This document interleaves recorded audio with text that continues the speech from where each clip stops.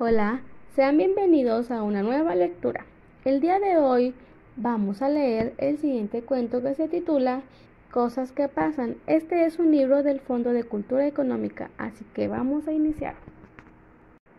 Si tuviera el pelo lacio, sería más linda. Pero no. Si tuviera un caballo, iría a la escuela al galope. Pero no. Quisiera cantar como ese pájaro ser fuerte como ese árbol y más alta y con ojos verdes, pero no. Sin embargo, ayer me pasó algo único. Apareció un genio y dijo, hola y felicidades.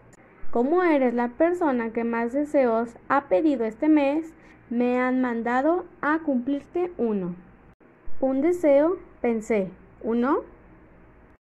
¿Y si me olvido de pensar en algo? ¿Y si después me arrepiento y quiero otra cosa? ¿Y si ahora justo me atonto y no se me ocurre nada bueno? ¿Y si me doy cuenta más tarde de que no pedí lo que más quería? Ay, qué difícil. ¿Te falta mucho todavía, chica? Ya sé. Quiero todo.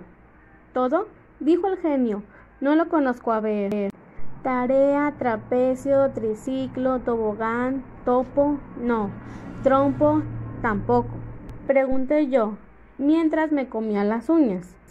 Mira, niña, dijo por fin, ese deseo tuyo no está en el catálogo y no puedo esperar más a que pienses otro.